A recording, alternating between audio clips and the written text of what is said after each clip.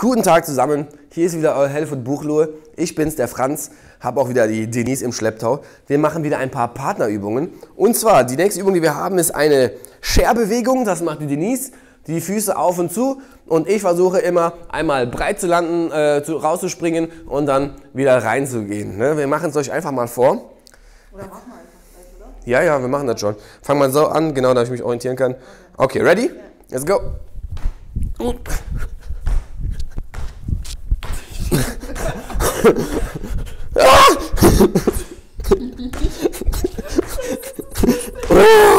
Eine Scheiße. Okay. Okay, man muss auf jeden Fall aufpassen, dass man dem Partner nicht die Füße platt macht, äh, platt springt. Also äh, gute Augenkoordination. Ne? Wir sind ja ein eingespieltes Team, deswegen geht es mittlerweile. Ja, okay. Dann wünsche ich auch hier viel Spaß beim Nachmachen. In dem Sinne, bis zum nächsten Mal.